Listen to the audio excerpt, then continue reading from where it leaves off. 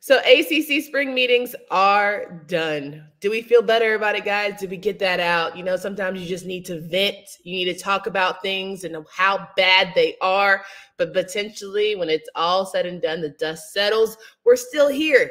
We're still in play. We'll talk about what the spring meetings could still mean in terms of the future of the ACC, or is everyone just calm?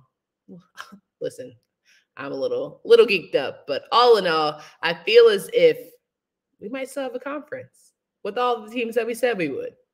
Or will we?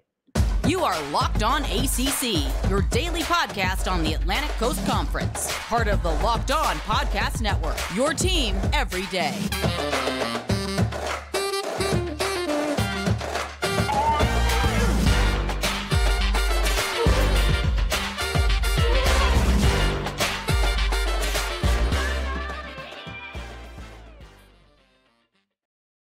Going on, everybody? Welcome to today's edition of Locked On ACC. I'm your host, Candace Cooper, joined by Kenton Gibbs of Locked On Wolfpack. Each and every day, you can find us wherever you listen to podcasts. It has been a hell of a week, if not only for the ACC, but just in life in general. Spring meetings have concluded.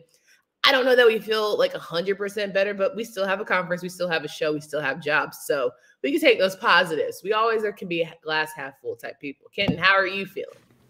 Uh, I'm great as always. I, I, don't. I don't think that there's. Uh, I don't think there's any imminent danger right away. So you know, we're we're in uh, we're in a good space. You know what I mean? You remember when they used to put the uh, the um, alert things on the news, and it would say how likely are we to be attacked or whatever, and it was like a green through red. Oh, okay. We didn't have that.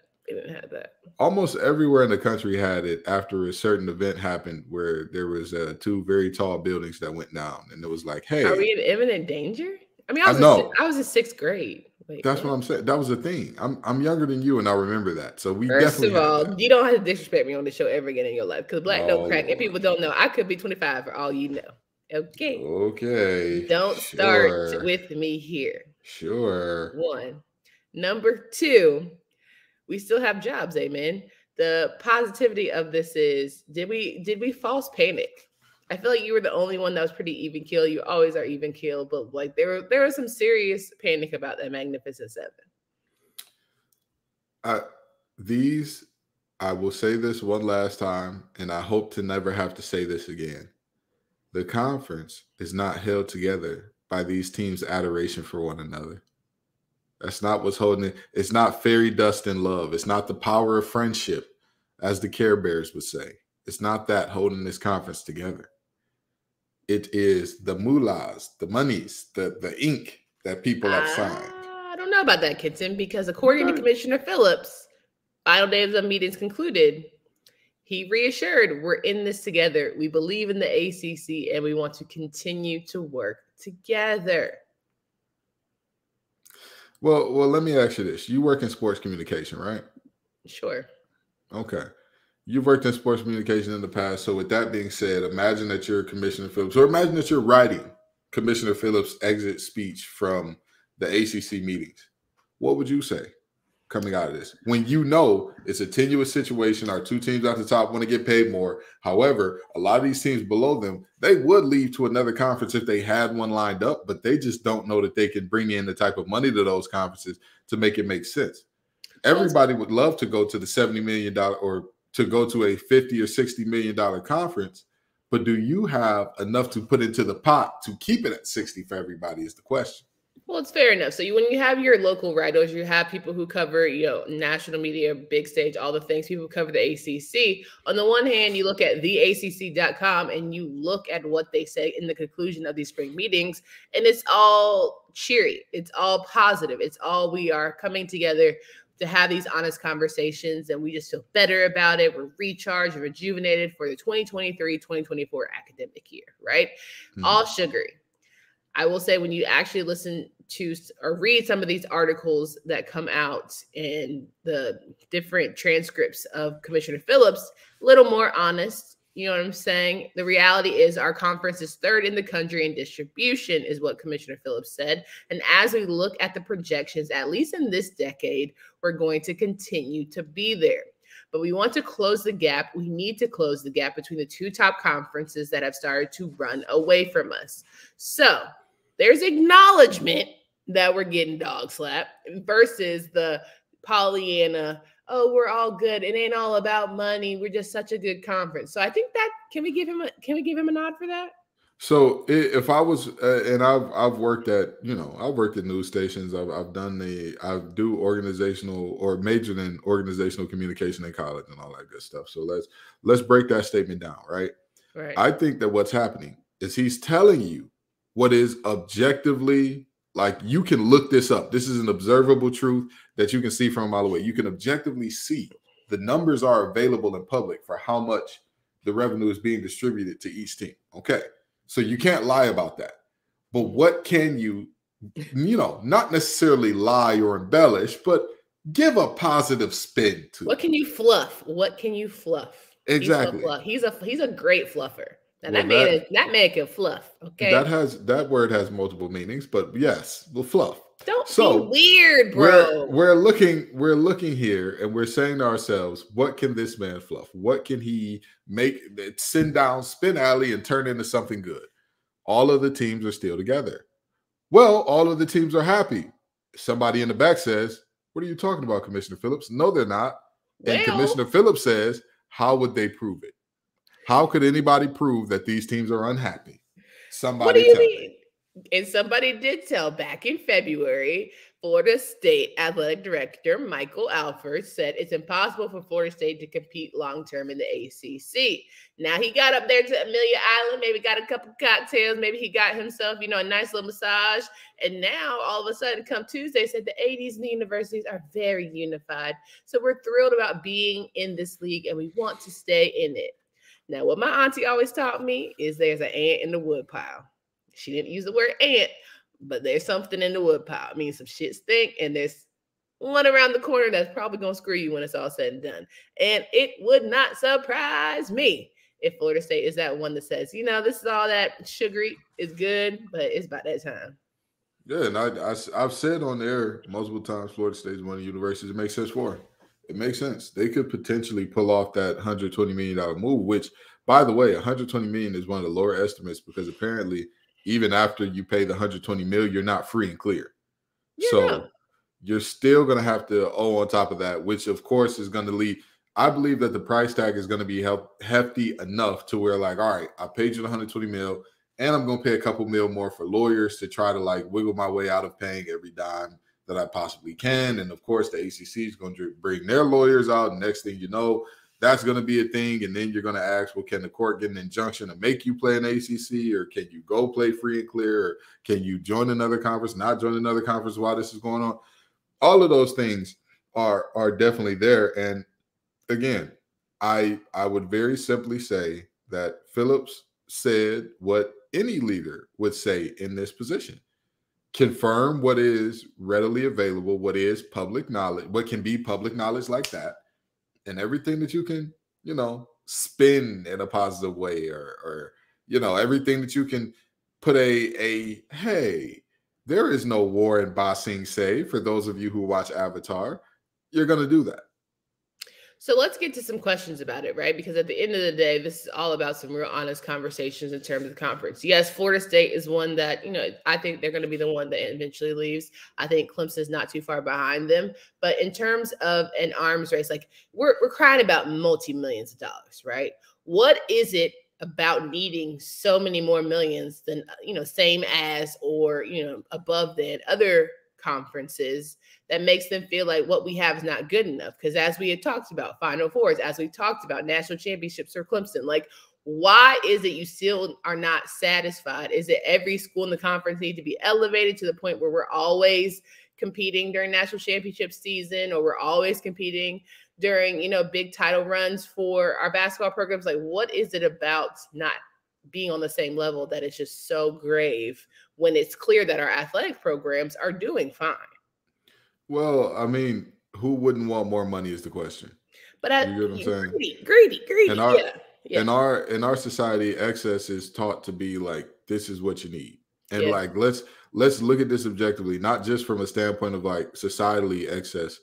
We're looking at you want to attract 18 year old men and women to come to or 18 year old young men and women or children, however you want to phrase it, to come to your university. And what gets them to come to your university? The shiny things. For by and large, you know, we can all pretend like, oh yeah, these are deeply thoughtful human beings and all that. I wasn't deeply thoughtful at that age, and I don't want to project on anybody else, but that for me personally, I just didn't want to play against any of my teammates in college, old teammates from high school and college. So that's what influenced sure. my decision heavily. There are other very inane, very small, like in the grand scheme of things, does that really matter? Stuff that sent people to, to the university they went to. For some people, it's ooh, your locker room looks like a spaceship. For some people, it's ooh, you you have a lazy river in yours. For some people, it's my God, every time I come here, the stadium looks bigger and better. What is going on? You know, so that's that's just the reality. Sure, but you would think that with NIL now, it can in one breath we're saying that's going to even the playing field. The next breath is we're saying like we got to have more money for these universities to give people enough blah blah blah. So like, is it Uchi Wally or is it one Mike?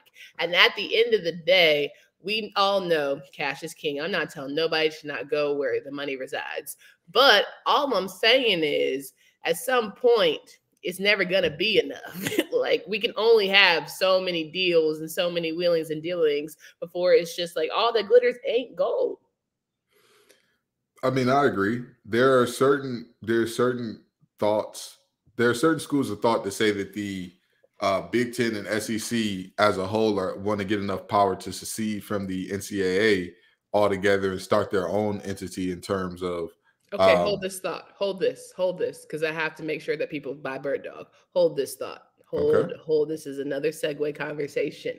All right, guys, we want to make sure that you are locked and loaded when it comes to looking good. If you want to be in these Amelia Islands, Willings, and Dillings, which you want to make sure you looking tight for it, we strongly suggest that you hit up our friends at Birddogs. It's always nice to have a stretchy fabric that makes your legs look great, and they're comfier than any shorter pants that we have seen yet. Whether you're on the golf course, meeting, date, or hanging out with friends, make sure you get Birddogs by going to birddogs.com slash locked on college and they will give you a little bit of uh, free custom Birddogs yeti tumbler with every order when you enter promo code locked on college. Now kenton brought up a good point. We're talking about the secession. Secession seems to be a very hot topic around these parts. Big ten and the sec could potentially secede from the ncaa which I ain't gonna hold you. I'm not a fan of the NCAA for years of just watching them terrorize, turn down, and police.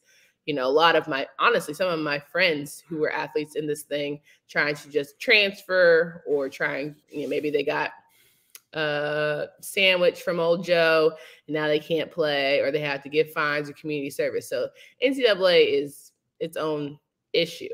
Big Ten and SEC wanting to be in its own league. I mean, that's cute. That's cool. But like these are still public these are well not all public but these are still college universities like are we do we not care about academics anymore? No. Only athletics. Yeah. Okay. Got it. I don't like people keep talking about i mean and and this is on a separate conference thing but people have seen the the pictures of lsu's library versus their locker room and all that. Yeah. That's not an accident. Yeah. That's not an accident right? Like the yeah. the physical space that is a library in today's society is deemed less valuable than that locker room because that locker yeah. room is bringing in how much yeah. into the, the pot. You know, that's yeah. it's just the reality. Whether we want to deal and with that, that is, in a meaningful way or not, that's where we are. You're so right. The reality of that though is as big as that locker room is, as nice as those facilities are, how many of those jokers are making it out of that locker room and going on to do create generational wealth for their family by playing on Sundays? Well, is that the university's concern? Let's let's just be very honest with ourselves. And that's this is a conversation that i mean a lot of people don't like having but i'll have it with you. Let's be honest with ourselves.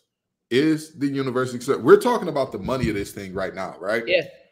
At the end of the day does it affect the university's bottom line in a significant way whether or not their players go on to other than like the top two to three players every year going to the league after you get past those top two to three at any school, by the way, this ain't just, you know, you you you can talk about Clemson, you can talk about Florida State, you can talk about NC State, UNC, whoever you want in terms of thinking about Pitt, a team that puts out plenty into league. When you when you get past those top two, three, four guys, and nobody else goes to league, does that hurt these schools' bottom line? And if those if those guys who don't go to league or are are very ill prepared to handle real life and all that, from college. Does that hurt the university's bottom line? I would hope that it would hurt your reputation. At, I mean, yes. First, first, no, it doesn't. It does not hurt their bottom line. Full stop. It does not. However, semicolon, comma. At what point do y'all not see that this is just multi-million dollar, you know, plantation type energy? Right? Like black, white, or other, in terms of you're treating these athletes as just pawns and whatever. We can use them if they don't become successful athletes, whatever. We had them while we needed them during these four years to be successful. And the rich are just getting richer. I haven't seen breakdown plans of these distribution deals to where it is trying to help uh, not only these amateur athletes, but they're going to feed something funnel into their NIL type program that they have at their universities so their athletes can make more money. So that's the reason why you should come to these schools and yada, yada, yada. Like, I haven't seen that plan yet. Let me know. Let me know if you've seen it because I haven't seen it yet. All I know is people at Amelia Island, Baldhead Island, and my boy Jerry Island just getting richer. But again, this is that. They don't I care. Mean, what Does is it matter? The, I'm. I have said this about these universities from jump and I stay saying it now. I have not changed course on this, nor will I ever change course on this because there are very few things in life where people see this as like, oh no, this is bad enough from a humanitarian standpoint that we as human beings must step in and stop this. And when you're talking about money, as long as people are not starving or emaciated or literally uh, dying from a lack of resources, it does not matter the bottom line is met, and these people have housing. The and these people being the athletes. The the bottom line is met. We get what we need, and the players. And here's the other thing about it: individual responsibility is another thing that is very very big here in America. We we are very big on individual responsibility. So with that being said, it is then it then becomes well if these players are not successful going forward, what did they not do in college? Because my mm-hmm. son went to NC State and he uh, did great. He he went on to become a, a banker on Wall Street. Why couldn't um, why couldn't this player who played there for years and didn't go to the league? Well, well, my daughter went to UVA and, and got one of the best degrees around and became a writer for SNL. Why couldn't your son who went there do the same thing just because he played football or just because he played basketball? That's not on on the university. That's on that player as an individual ignoring some of the things that are built in to where athletes don't have the same time to make the same connections. Athletes don't have the same time to foster the same skills and live the same live have the same lived experience as everybody else. But again, at the end of the day, these universities will not have their money disrupted by uh, players leaving, not prepared to handle the world because so much money was funneled into athletics. And that's and that's I'll say this as well we are talking about the money funneled into athletics via the distribution model. However, these universities also have massive endowments. And if they're not doing anything with those endowments that get these um, folks prepared for the world, then I don't think that the, the ducats coming in from sports would help in that major of a way anyway. Very well said. I think it's disappointing because at the end of the day, like the human side of this is what I keep reiterating that we're missing. Like the human side of making these guys feel like all they offer to this world is their athletic ability and prowess and make sure I get as many eyes, TV deals on them as possible and keep making myself rich while I sit for my high throne. And I don't care what happens to him after it's all said and done and he spent his time at my you know respective university. Like are there you know great stories that come out of it? Yes. Are there guys that get business degrees go and do great things? Are there guys that go do you know comms degrees and there are people that they connected with while they're on campus and they help them get jobs? Yes there are. Your great stories there plenty as well as the guys who literally have no identity outside of playing sports, who don't make the league or who don't, you know, never were going to make any sort of league and now are just finding themselves lost in the proverbial sauce. My my biggest problem with these uh, super conferences, which I've talked about before, and I, I hate saying uh, I'm I'm going to stop saying I talked about before at this point because I mean we've touched on nearly every. But we have new listeners, and sometimes but, no one knows what you've said in past episodes. So this my, could be the first time people are hearing it from you. That's fair. My my biggest my biggest drawback is the the amount of travel that these super conferences necessitate. Like with all due respect, regardless of what the revenue sharing model was before, from a travel and logistics standpoint, most of these conferences got it right a lot more often than not, right? With the exception of West Virginia being often, I believe it was the Big 12, for the most part, you didn't have like crazy cross country travel like you would. Rutgers and UCLA and USC are about to be in the same conference. Yeah. Like that's a thing.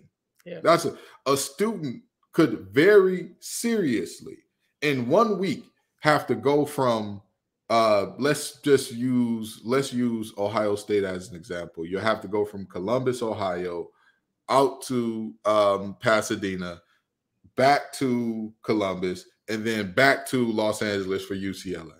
Yep. Like that seems to be exorbitant. If you're talking, um, if you're talking a team, any team that's in the the the Eastern Standard Time Zone, and you're traveling coast to coast to get things popping, that's just that nobody nobody cares about those production line items though, right? Nobody cares about how much it costs to fuel these planes to get how many guys on the travel team to their various locations. But that's that's why everybody wants a bigger deal because it, it's like, hey, well, if we got to do the travel and logistics, we want the bigger deal. My problem is that it is you can pretend all day and night like, oh, it's no big deal, and we can we can have with the more money that we make from getting into this new conference, we can add academic support staff. Adding academic support staff would not help with the fact that somebody just traveled literally across two sides of the country in two weeks. And I know that there's going to be a lot of adults watching this to say, "Oh, I do that for work all the time." Baby, you're 35. You've been doing this for years. He's You are, 36. you are much more well adjusted to do that than a 19 year old who is dealing with a college workload, college course load for the first time in his or her life. Yeah. You're in a very different situation than the swimmer who just had to go out to the meet at, Rutgers and then the meet in Iowa and then back to another meet that was on the East Coast and then to another meet that's on the West Coast because all of those are in the same conference and we've just reached three different time zones in three weeks. Well, Like- let's be let's be very clear about it too, though. Like as much as we love our non-revenue sports, they're going to be the first to go when all of this super conferences type stuff happen. Like they're not going to be able to support. It's just not going to happen. I don't I don't foresee there being a lot of non-revenue sports in this grand scheme. Maybe five to seven years down the line, people are going to start getting cut. Title IX, because of it, is going to start cutting men's programs because of you know how all that they have to configure. So that's the troublesome thing. But you did mention something, and we talked about it offline here about you know having to travel and the UCLA teams, UCLA and USC joining the Big Ten and all of that stuff. We talked about the deals and the money that to be made. You try to add as many people as possible because everybody wants in on this SEC Big Ten pot. But let's be honest about it. Once you start adding more people, does that not lessen the money load? If you have like if we have 10 and you add 12, I gotta split it 12 ways now. So, and and here's the part. Here's the part of logistics that a lot of these schools fans aren't thinking about. And this is not. I'm not gonna call out any school because almost every school is guilty of this. If your school ain't making that type of money, where are UCLA and USC located? Southern California. What size market is that in terms of uh, Top- top America? five. Top five, top five. I believe it's the number two market in America. I believe New York is number one and they're number two. New York Mhm. City number one, they're number two. You're looking at a top five um, market in America. Oklahoma and Texas. Can you think of bigger fan bases? Can you name five bigger fan bases than Oklahoma and Texas? Just off like the thought of like, oh, this fan base is probably massively bigger.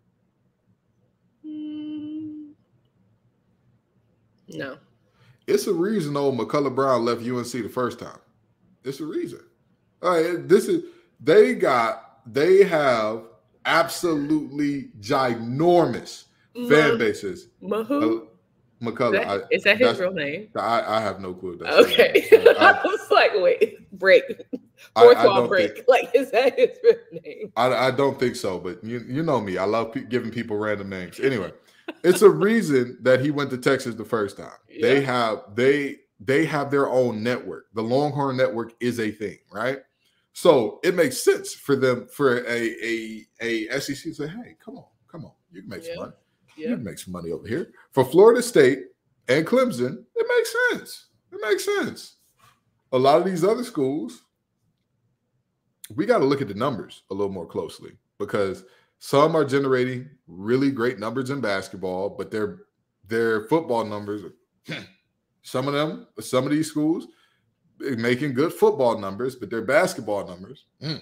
And so when you look at that, Yeah. You're you're seeing a situation of everybody imagines, well, hey, you know, I'm sure that Florida State is rubbing everybody's shoulders, telling them, oh, you we can leave this conference and all of us can go get all the money elsewhere. Really? Can all of us go get the money elsewhere, or can you go get the money elsewhere? And I think that that's what a lot of these ads are aware of. That's stopping them from this secession plan because they know there is no landing spot that is going to pay you more. Where are yeah. you going to go? And I truly believe that it's like, you know, from a church moment, like everybody ain't able. And that's just going to be the hard truth about it. Everybody ain't going. Everybody, somebody's feelings is going to be hurt in the end. As you've said about this the entire week, somebody's lying. And there's reasons why nobody ran because when you look at them contracts, nobody was willing to make that buyout after thorough investigation, after thorough lawyer review. It says sit your ass right where you're supposed to be. So like we can hype this up as much as we want to, and we can talk about the potential. Da, da, da. It's never been more prominent, but like Commissioner Phillips said, and I will agree with him, there's never been a time where it's been so top of mind for folks because of the arms race that it seems to be in the present. Like this wasn't a big deal 10 years ago, but now it's like every other day, it's who can give me the best deal, who can give me what. It's like the greed is just the cloud of yeah. greed is getting bigger and bigger to me again, these teams have played Mack truck. I mean, have played chicken with a Mack truck, and all they have is a pencil. And, and, I'm sorry, you're not the Baba Yaga. You are not John Wick. You can't do with that pencil what you think you can do. Bro. Okay, you're gonna get you get out the way, child. Get out the way. With all due respect of the Magnificent Seven or or the Great Eight or whatever you want to call them, how many of those teams add bring in enough money to make sense for them to go to these universities. Because like you said when you add into the pot it divides. You need to add in enough to the pot that when your team is is is done doing their how many views how many viewers did y'all have? Okay how much did y'all um how much did y'all brand stuff sell? Like in in in walmart on on uh, fanatics.com on in your school store all that. How much did your stuff sell Okay, now how much did all this? You you need to work out the numbers in a way that makes sense. Yeah. And a lot of these universities, again, I think at max, at max, potentially four to five of those universities, it makes sense for them to jump elsewhere at the yeah. moment. A hundred percent. And like, listen, and that's being I generous. Thought, that's being very generous of me to say four generous. to five. I think Louisville. I thought Louisville was going to be the eighth Infinity Stone to get this thing popping. Did all rumors, cool. I do think that there is some truth about teams having conversations, questions, and everyone is very much man for themselves. I don't buy that we're all in this together thing. I understand why you have to save face to save right now because you're literally about to go into July where you have to have ACC kickoff and prepare for a season. Like, hey, I know we're all having everyone's a sports management mar- you know major, everyone's a marketer, everyone's an attorney, everyone has all these insights. At the end of the day, you still got to play games. At the end of the day, it still has to be championships. At the end of the day, we still have to like get things rolling, right? All this mm-hmm. fluff is cute because we ain't got nothing to do, but it, we still got to pick up helmets, do all the things, put in orders, all that fun stuff. You know, like there's money to be made. There's people that still have jobs and like all the things. So at, I'm just here to say ACC is still standing. How long? Who knows? But I'm not not crying over millions for anybody in this group. Not not a one. Yeah, I think that it's it's the reality of you know you need to. I mean, like you said, it's it's an arms race. Well, it's uh if you compare it to an arms race, what is one of the the greatest uh greatest deterrents to war per se, right? Or what's the one of the things that will help you win the war? Having bigger armaments, having bigger bigger and better armaments, and what helps you win in the living room when you bring these young men and women to your campus? You can say, "Look at our facilities." Look at this. Championships, of course, help. Championships, of course, help. Absolutely. No offense or buts about that. But bringing players in and saying, look at our facilities. Look at this. You think you're going to get it, get to train like this? The group of five, and we haven't mentioned them at all in this, but the group of five, I remember there was one school in particular who actually performed very well in their group of five conference. They had, they got it updated. So I know it's not this way anymore. They had a weight room that was so small, only one position group could work out at a time. Mm-hmm. And so that obviously was a big deterrent for like you can't bring in a, a certain caliber of player because that's just an odd thing, especially when players from football powerhouses are used to being in a weight room where at the whole team would work out all at once. Right. And everybody would would do the max days and, and do all the cheering when the teammate hit a new max and all that. And they're going to go to college to go to a lesser facility than that. These well, teams, start yeah, it starts at the grassroots level because I mean you got IMG academies now. You've got these big type of private school funded type facilities where they are pretty much at college. They're only going to expect the high level, the best of the best, and you got to compete. Yeah, yeah, absolutely. It's it's it's and you know I I'll tell you this. In terms of like the IMGs of the world and the teams that play international or not international, a national schedule and whatnot, I mean, it's it's a lot like comparing to what these uh, college kids are going to have to do. But again, it's just very different because college ball is on a different level. Yeah, it's on a different level than high school. Number one, and number two, um, the the course load, the academic rigor is generally going to go up. I'm not going to speculate on what IMG Academy's academic uh, rigor is or is not. However, I'm speculating based on high school, college. It's a jump.